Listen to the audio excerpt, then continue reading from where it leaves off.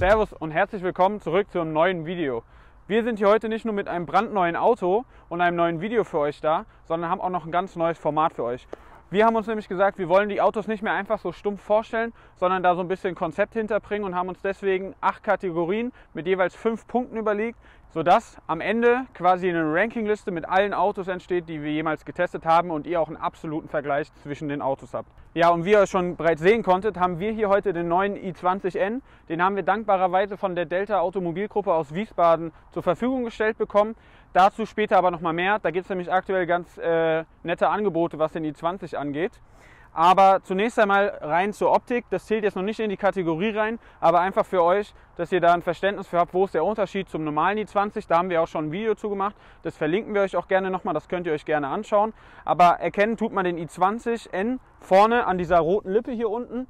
Und ähm, der Grill ist nochmal etwas sportlicher und natürlich hier vorne dem N-Logo. Ansonsten an der Seite haben wir natürlich die N-typischen Felgen mit den roten Bremssätteln. Gefällt mir vor allen Dingen hier in der Kombination mit dem weißen äh, sehr gut. Der rote Strich zieht sich dann an der Seite weiter. Und wenn du dann einmal noch mit rumkommst, haben wir natürlich hier am Heck äh, die spannendste Seite, meiner Meinung nach. Äh, denn wir haben hier unten einmal das dicke Endrohr und ähm, Ansonsten beim i20 hatten wir das ja auch schon, dass dieser Lichtzug hier durchgezogen ist. Der ist jetzt aber quasi klar, weil der war ja vorher komplett rot.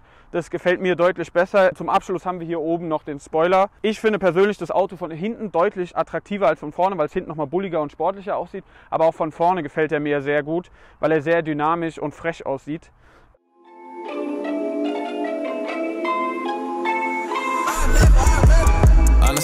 Don't know who the fuck to trust. Is he my friend or my foe? I'm the exit, draw. Yeah, she give me that claim as well. I remember back when I was younger, I was happy. Nowadays, feel like no one understand me. I'm good at artists, silly, I'm Bob, Bambi. Baby's yellow, text. She wanna eat me like candy. Run up the racks, track me. Uh, I run up the racks like an athlete. Big facts, you're the dick, six flags. Ballin' like facts, told her I love her. I ain't really mean that, yeah. Nowadays, these people are funny. Ich würde sagen, wir gehen direkt mal in unsere erste Kategorie rein und zwar die Alltagstauglichkeit. Und dazu haben wir uns jetzt gerade mal reingesetzt, ähm, weil das Wichtige ist natürlich erstmal ähm, eine klassische Situation in, in der Stadt, Parken, Übersicht, etc. Und dadurch, dass wir hier ein sehr kleines Auto haben, muss man sagen, die Übersicht ist sehr gut. Nach vorne kann ich das Auto relativ gut einschätzen. Mit den Spiegeln komme ich auch gut zurecht. Es gibt kaum hier einen toten Winkel. Nach hinten die Scheibe, die ist nicht ganz so groß, aber ich kann euch das einmal zeigen. Wenn ich hier den Rückwärtsgang einlege, ist da die Rückfahrkamera und wenn ich einlenke, lenkt das ganze Ding auch mit. Und daneben haben wir auch noch die Park Distance Control. Bevor wir hier vorne weitermachen, springen wir jetzt einmal kurz nach hinten zum Kofferraum, weil das zählt natürlich auch dazu, wie viel kann ich mitnehmen, wie viel passt da hinten rein hier hinten im Kofferraum ist es jetzt nicht unbedingt die größte Stärke vom i20. Wir haben jetzt extra mal hier was drin liegen gelassen, eine kleine Kameratasche und den Rucksack. Ich habe hier auch noch einen weiteren Rucksack, den man hier noch reinstellen kann. Also so ein Umzugskarton oder zwei Wasserkästen werden hier wahrscheinlich reinpassen. Ähm, ansonsten haben wir auch noch die Option, hier unten drunter ein bisschen mehr Kofferraum zu gewinnen. Ähm, das sind jetzt aber nur noch mal 10 cm, die wir mehr Stauraum gewinnen. Ist besser als nichts. Aber ähm, ja, ist einfach nicht die Stärke vom i20. Aber ich denke, das ergibt sich halt auch von selbst.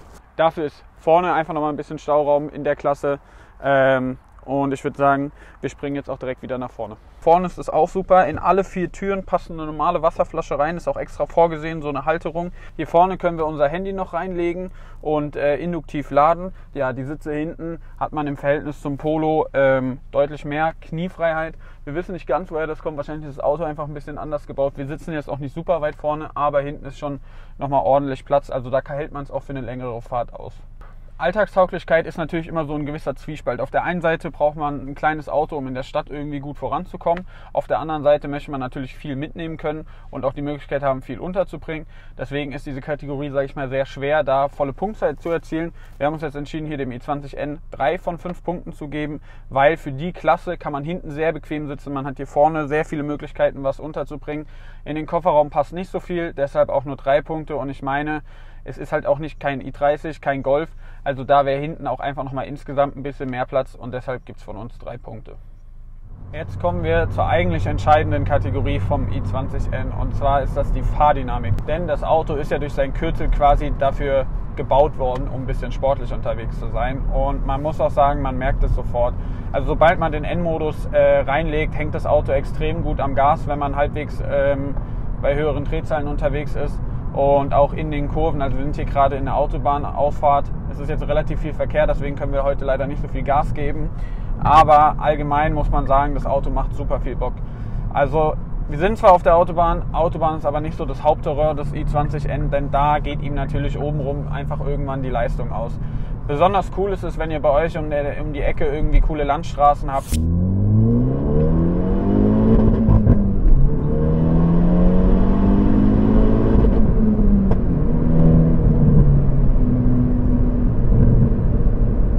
die relativ eng sind mit vielen Kurven. Das ist genau das, was der i20N liebt. Scharfe Kurven, Bremsen funktioniert super, Einlenken und wieder Rausbeschleunigung und das in Kombination mit dem Sound ist einfach ein richtig geiles Gesamtpaket. Das kann man nicht anders sagen. Aber trotzdem der Vollständigkeit halber nochmal ein paar harte Fakten. Der E20N schafft es in 6,7 Sekunden auf 100. Das ist nicht zu verachten, das ist jetzt nicht raketenschnell, aber für die Klasse an Auto ist das eigentlich echt in Ordnung. Maximal sind dann 230 drin und äh, das fühlt sich dann in dem kleinen Auto auch schon richtig schnell an. Ansonsten kann man vielleicht noch sagen, das Auto wiegt nur knapp über eine Tonne, also 1,2 Tonnen oder sowas. Also ähm, deswegen fühlen sich diese 200 PS auch vielleicht ein bisschen mehr an. Das ist natürlich nicht so krass wie in einem i30N, wo man DSG hat, Kickdown gibt und das sofort vorschiebt.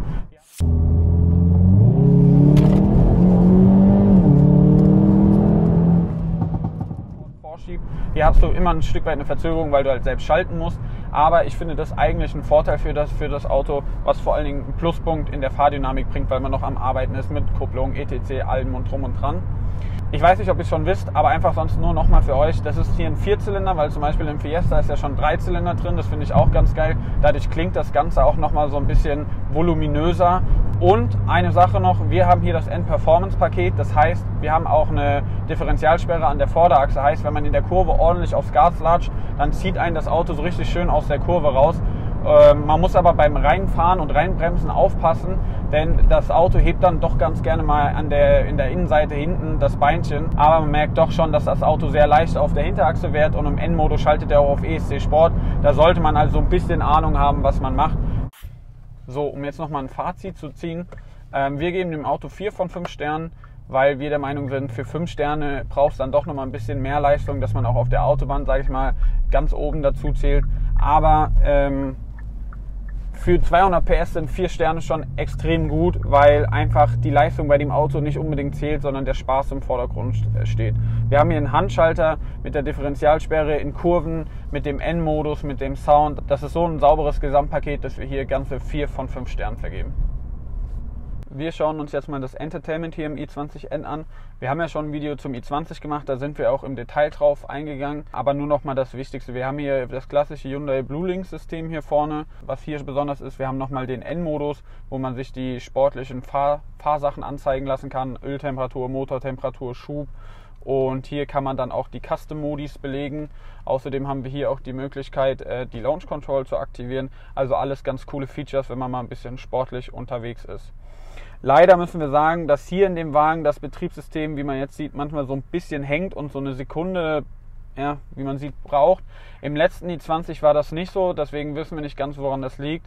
Haben wir jetzt mal dementsprechend auch so mit einberechnet, dass wir wissen, dass es theoretisch auch besser funktioniert. Im Dunkeln haben wir hier auch ambiente Beleuchtung. Diese ist allerdings nur in den Türgriffen, also hier und äh, hier unten in der, in der Ablage in der Tür und ein bisschen an den Füßen. Die ist nur blau, die lässt sich auch nicht verstellen.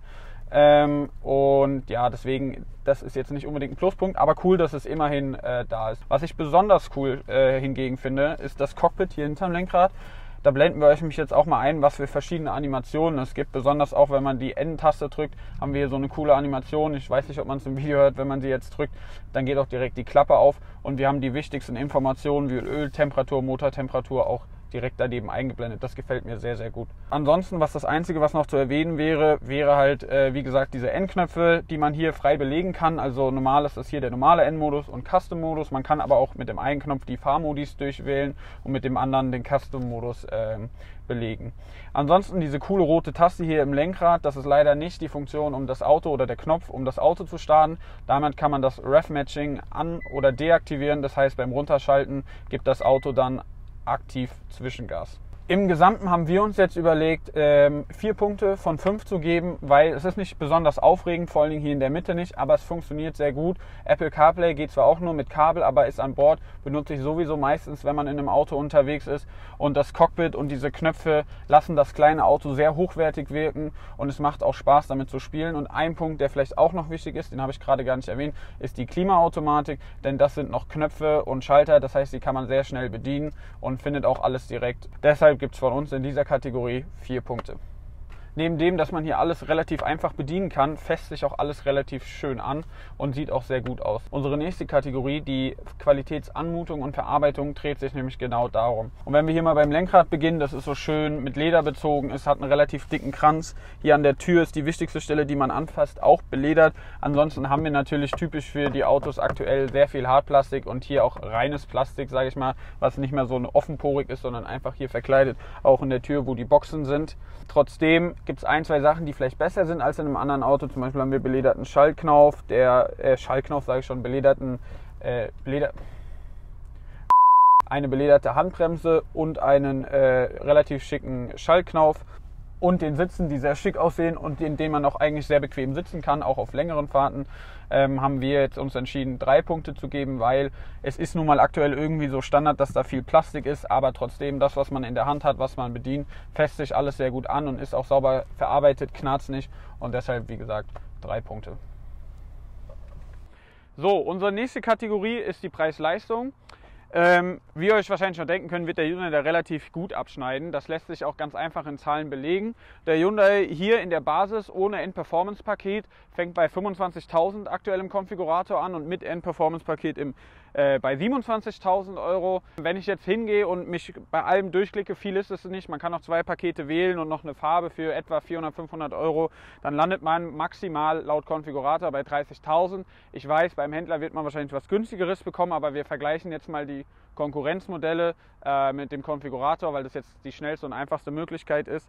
Da ist es nämlich so, dass der Polo erst bei 28.000, äh, bei 30, sorry, bei 30.000 anfängt und der Fiesta ST fängt bei 28.000 Euro an. Das heißt, beide anderen Autos fangen da an, wo ich den i20 quasi maximal hinkonfigurieren kann. Und deswegen, rein objektiv muss man sagen, preis-leistungsmäßig gewinnt er absolut seine Klasse. Das spricht recht wenig für die anderen, aber auch absolut wo unsere Kategorie erzählt, muss man einfach sagen, für Basispreis 25.000 kriegt man extrem viel Fahrspaß, man kriegt einen super coolen Sound und äh, dadurch, dass er noch handgeschaltet ist, sage ich mal, ist es noch so richtiges Autofahren, irgendwie ein kleines Auto, Handschalten. Also mir persönlich liegt es super und äh, mir macht es super viel Spaß. Und deshalb haben wir uns auch entschieden, dem Hyundai i20N in der Kategorie Preis-Leistung volle 5 Punkte zu geben. So, gerade haben wir noch über die Sitze gesprochen, ähm, dass man darin eigentlich relativ bequem sitzt. Es ist auch so im ersten Moment. Wenn man jetzt aber wirklich länger damit fährt, du kannst halt nicht im Sitz irgendwie die Lendenstütze oder sowas rausfahren oder die Kopfstütze ähm, verschieben. Es geht alles manuell. Man kann den Sitz hochpumpen und die Lehne verstellen. Für mich jetzt kein großes Problem, aber ich wollte es mal erwähnen, es gibt bestimmt komfortablere Autos, auch für später die Bewertung, dass man das verstehen kann. Ähm, und das Fahrwerk lässt sich auch nicht verstellen. Man kann zwar im Custom-Modus viel einstellen, das Fahrwerk aber nicht. Äh, das ist relativ hart. Ich finde es noch nicht unangenehm. Ich kann mir vorstellen, dass es hinten noch mal härter ist. Ja, wenn dann auf der Autobahn Querrillen sind, dann wird, merkt man das halt dann doch schon. Aber trotzdem komfortable Features haben wir ja auch. Wir haben nämlich Lenkradheizung, wir haben vorne Sitzheizung und wir haben sogar hinten Sitzheizung und das finde ich echt krass, weil das ist nicht mal ähm, also ist nicht mal bestellbar in einem Polo. Und hier ist es zwar auch aufpreispflichtig, aber es ist trotzdem sau cool, dass man das bestellen kann. Ich weiß zwar nicht, wie oft man es braucht, aber ich finde es einfach krass für die Klasse, dass Hyundai das äh, auch verbaut. Und auch ähm, im Thema Komfort ist es auch, die Musikanlage ist sehr gut, also auf langen Strecken, wenn man mal nicht nur dem Sound des Autos äh, zuhört, kann man hier auch äh, relativ gut so normale Musik hören. Und weil, wie gesagt, es nun mal ein Kleinwagen ist, der sehr straff abgestimmt ist, haben wir uns jetzt überlegt, das Nonplus Ultra ist nun mal eine S-Klasse in der absoluten Wertung und deshalb gibt es von uns zweieinhalb Sterne, weil es geht schon noch deutlich straffer und weniger reisetauglich. Von daher ähm, geben wir in der Wertung Komfort zweieinhalb Punkte. Offiziell schafft der i20N einen Verbrauch laut WLTP von, glaube ich, 7,1 Liter. Das ist auch schon, sage ich mal, ordentlich für so einen Kleinwagen, aber ähm, das war beim i30N auch schon so. Es sind beides Autos, die man nicht unbedingt sehr sparsam bewegen kann. Ähm, vor allem, weil sie auch so dazu verleiten, dass man ein bisschen zügiger fährt. Also wir haben jetzt in drei Tagen äh, Test einen Schnitt von 10,2 Litern gehabt. Das schafft man aber auch deutlich wahrscheinlich noch drunter. Nur es ist halt einfach eine Sache, wie fährt man und wie schwer ist der rechte Fuß. Der i20N hat einen Tank von äh, 40 Litern, das heißt umgerechnet kommen wir in etwa 400 bis 600 Kilometer weit, je nach Fahrweise. Das erwähnen wir jetzt einfach nur der Vollständigkeitshalber, weil das bei E-Autos ja immer so ein Ding ist und dass man da mal vielleicht einen Vergleich hat. Weil das, wie gesagt, für einen Kleinwagen jetzt nicht sonderlich sparsam ist, können wir da jetzt auch nicht mehr als zwei Punkte geben. Heißt weitere zwei Punkte für den i20N. Für unsere nächste Kategorie haben wir uns mal hier hinten niedergelassen. Die ist nämlich Sound und Emotion und die spielt hauptsächlich hier hinten und zwar bei dem schicken Endrohr, das wir da auf der einen Seite haben. Äh, soundtechnisch äh, blenden wir euch jetzt mal kurz einen Clip ein.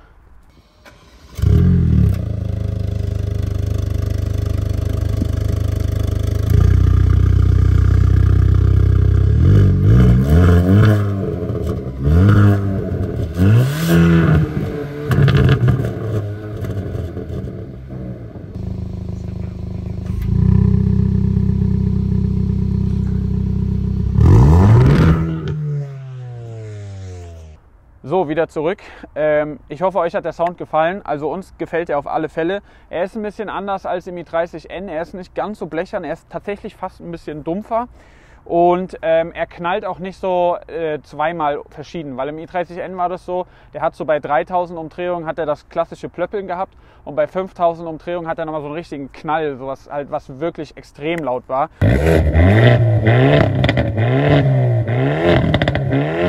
war. Das hat der hier nicht. Er hat so um 4000 hat er so ein Plöppeln und das kann man sehr, sehr gut provozieren. Also wenn man, wenn einem das Spaß macht und man gerne so durch die Stadt rumfährt, dann funktioniert das schon sehr gut. Sei aber gesagt, es ist nicht ganz so extrem wie der E30N, aber in seiner Klasse ist er damit absolut noch Spitzenreiter. Neben dem Sound zählt zur Emotion natürlich auch noch das restliche Fahren. Und das ist dadurch, dass wir hier so kleine Schalensitze drin haben, der handgeschaltet ist, wir die Tasten am Lenkrad haben, ist das Auto insgesamt sehr emotional gestaltet und auch, ich finde auch optisch außen gibt das Auto viel emotional her. Deshalb haben wir uns entschieden, in der Kategorie vier von fünf Punkten zu verteilen. Nicht ganz so fünf, weil ein i30N zum Beispiel ähm, einfach nochmal einen Tacken lauter ist. Der hat zwar DSG, man kann ihn auch immer noch mit als Handschalter ähm, bestellen, aber insgesamt ist er dann doch nochmal das emotionalere, lautere Auto. Ja, und eine gewisse Puffer nach oben brauchen wir noch, weil ich sag mal so im Auto-Universum gibt es dann doch noch das eine oder andere Auto, was dem noch etwas oben drüber steht. So, wir haben jetzt hier nochmal die Location gewechselt und wollen jetzt hier nochmal ein Fazit ziehen. Uns hat das Auto extrem viel Spaß gemacht. Es ist extrem spritzig, es bereitet viel Freude, es hat einen coolen Sound, es ist halbwegs alltagstauglich, weil es nicht so groß ist. Innen die Sitze sind mega geil. Und ähm, ja, also da bleibt uns eigentlich nur noch übrig, euch die Gesamtwertung einmal einzublenden. Das sind insgesamt 27,5 Punkten von möglichen 40. Und wenn man den Durchschnitt an Punkten ausrechnet, sind es aufgerundet dann auf halbe Punkte, dreieinhalb Punkte. Finde ich für so einen Kleinwagen extrem gut. Da braucht er sich auf alle Fälle vor anderen Autos nicht zu verstecken. Und an alle da draußen, die sich für so ein Auto interessieren, schaut gerne mal bei Delta Automobil vorbei. Die haben nämlich schon ganze 300 Stück bestellt. Ihr kriegt bei denen einen super Preis und dadurch, dass sie schon bestellt sind, könnt ihr das Auto theoretisch schon ab Juli oder August bekommen. Denn aktuell sind normal bei normaler Bestellung etwa 10, 10 Monate Wartezeit einzuplanen. Von daher für euch eigentlich nur ein guter Deal, wenn ihr Interesse habt. Und ansonsten schreibt gerne die Meinung mal in die Kommentare und ich würde sagen, wir sehen uns ansonsten beim nächsten Mal wieder.